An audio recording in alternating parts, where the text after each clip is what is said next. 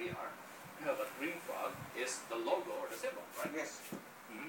Actually, there used to be green frogs in the Philippines. I grew up in Quezon City.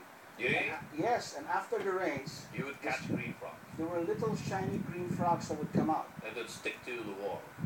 on the Kamyas tree. That's right. I remember. Were we I- playing in the same neighborhood? No. Probably. well, I was gone for 25 years. When I came back, What do you mean? were Where did you go? I worked. I studied and worked in the U.S. Then I worked in Europe for eight years. So is that where you were exposed to these um, green technology while you were abroad? The, the Europeans were very conscious about being environmentally friendly all the time, and that's where I really picked it up. Yeah. And the idea for a hybrid bus is not really new, but the fact that, or you're one of the first companies, if not the first company, to bring in this type of bus. I think we looked at the technology. We started looking at the pure electric bus. That did not turn out to be commercially viable. Because you'd have to have charging stations put up, right? First of all, it's very expensive. Yeah. I mean, it's prohibitively expensive. Secondly, the batteries need to get much better. You need to charge them eight hours. Right. So it's not commercially viable. Then we looked at the next best thing, which was the hybrid bus. These buses run the whole day. They are self-charging. You know, Okay. Uh, a company called Eaton built this transmission system with a built-in generator. So every time the bus is running, it's charging the lithium-ion batteries. All right. All right. Lithium ion batteries. You know, that term has been very dangerous lately. Of course, we're talking about the Dreamliner. These are not the same batteries, right? Yes. Yeah. No, they're not. They're not. we don't want any Boeing uh, disasters. All right. So the, the bus itself is a hybrid because it's made of parts that are assembled or manufactured in different countries. It's yeah, it's uh, both ways a hybrid, figuratively and literally. It's a hybrid because it has two propulsion systems, a Euro 4 diesel and an electric motor. Okay. It's also a hybrid in the sense that the parts come from all over the world. Wow. The hybrid system itself is American, mm-hmm. the brakes are German, the mm-hmm. lithium-ion batteries are Japanese, the chassis and the frame are uh, Chinese. So Chinese. And all of these components are assembled in China, in China. yes. Okay. So it's Green Frog, uh, which came up with the design and have the Chinese uh, assemble it for you. We basically looked what was in the market Mhm. and we took, I, we like this part, we like this part, and let's put it all together. Right. And then we looked at the Philippine conditions about the flooding, so we raised it up a little bit. Now there you go. Because people will think if this were an electric bus Yes. and you waded through a flood, that would be disaster. Yes, the battery is 1.68 meters off the ground, so it would be a serious flood. Yeah. So it will really have to wade through. It won't be a bus anymore. It'll probably be A a cruise ship or a submarine. but how fast does a hybrid bus go? I mean, in terms of speed.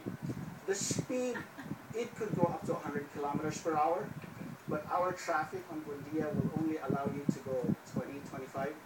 The average speed on Buendia is about 16 kilometers per hour. Okay, so it doesn't necessarily have to be a fast bus. It just has to be comfortable and safe enough. Yes. yeah, for people to ride on. Um, uh, how much, or is the fuel economy? How much is the fuel economy? How much? Uh, how many kilometers do you get per liter? The average bus on EDSA, and I checked with some of my friends with buses on EDSA, Yeah. they get about one kilometer per liter. One kilometer per liter? Yes, the big buses on EDSA. Ours will get about, yeah, it's bad. Ours will get about two and a half. So we are Okay. very efficient compared to a bus in EDSA. Still, wow. Well, If we five kilometers per liter, that's that's terrible.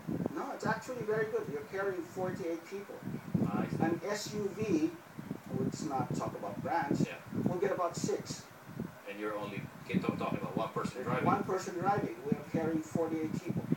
So the weight to power ratio is okay. Yes. The power to weight ratio because you're carrying 48 people. So the maximum carrying capacity is 48 people, including the driver Yes, uh, and a conductor, I suppose. yes. Okay. So it doesn't need a charging station because it charges by itself while it's in motion. It's self-charging. There's a form, there are two ways it captures energy from the diesel engine. Okay. When the engine is running, it turns a generator, right. which charges the lithium-ion battery. Okay. That's one. The second one, it has something called regenerative brakes. Ah. So when you step on the brakes, it actually turns that uh, Another- friction Yes, uh, it turns power. an electric motor into reverse that becomes a generator and charges the lithium-ion batteries. All right, and regenerative braking is actually already a standard feature in some of the higher end vehicles is. uh, in the States and in Europe, right? They actually used it. It's Formula One technology. Ah, I. I see. So you see, the Formula One cars don't have big engines anymore because of this technology. All right, amazing. So, how many buses will be brought in? Uh, we hope to have about 36 buses within the next 12 months, Okay, but we're bringing them in in batches. so the first batch will be how many units? A batch of two, then we'll take six, then we'll take another six Okay, and these first two units will be launched when? in a couple of weeks. In a couple of Very weeks. close. Okay, uh, you just have to hurdle, I guess, the paperwork and all the administrative yes, stuff. exactly, and Yeah. that's it. And then we're, we're good to go after that. Yeah. Now, how do you see these buses competing with all the other commercial bus lines out there? I mean, habulan pa rin, di ba? I mean, tas yung gitgitan, uh, kaskas dito, kaskas doon, because gusto ng mga bus drivers, mauna silang pumikat ng pasero. I don't know how, I don't know if the MMDA is actually, uh, has prevented that from happening lately, but how will it compete against the other buses? I think we have certain built-in advantages that would make people choose us. Yeah. One, it's a hybrid. It, you know, it emits 80% less pollution than a normal bus. Two, it's air conditioned. Three, we have the best drivers out there. Our drivers are MMDA TESDA certified. They're also women. We have a tap, All the drivers are women. except one. Okay. What, what do you mean by that? Except what? Uh, It's a woman, but not a woman? no, it's Oh, Sam is a guy. oh, sorry. Sorry about that, Sam. so, was that a conscious choice that you wanted women to drive the Green Frog buses? Yes, I, there's a part of me that wants to empower women, Fantastic. Yeah, all right, but of course, uh, you but of course they have to be qualified. So Yes. know, we have to get them. We only we're only getting women that are certified by MMDA TESDA. All right, but you do know that because of the, the really bad uh, accidents involving buses, that the uh, MMDA had actually proposed that uh, more women bus drivers be employed because I think the study has found that women are actually supposed to be less aggressive and more uh, care, uh, much more cautious behind the wheel. They're a little calmer around the wheel. A Yes. little calm. Yeah, that's, that's the term. All right, and it costs only 12 pesos? Yes. All right, and then the one thing that's interesting to me, as we were saying, it uses a card type system to pay. Yes. It's like an RFID card. Yes. Yeah, I might have one. Okay. Uh, you buy one of these cards. Okay. So it's similar to what they use in uh, Singapore or in Hong Kong. Exactly. Yeah. It's the same Yeah. supplier actually. The same supply. There's a chip inside. There's an antenna inside. Yeah. You buy one of these cards, Load it up. load it up, and there's a validator right in front when you walk in the front door, Yeah. and you tap it.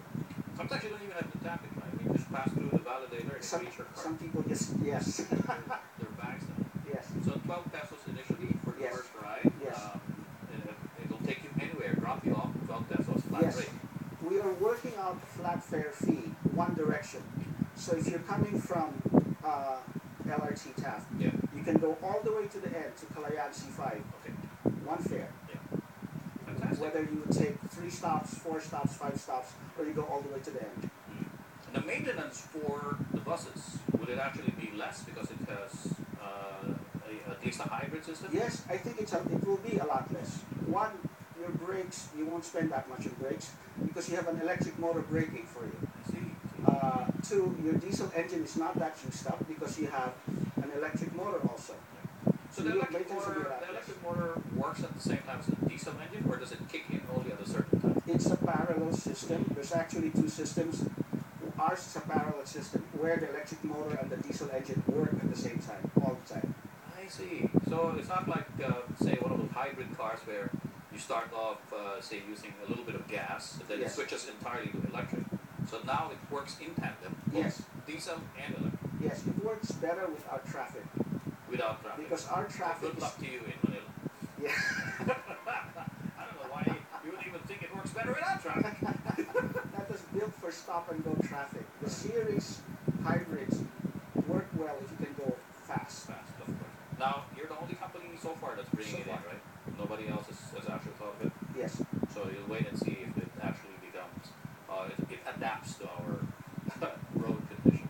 Well, Philip Of uh, Green Frog Zero Emissions, thank you very much for, for telling us all about the hybrid buses. Thank you. Hope to see them soon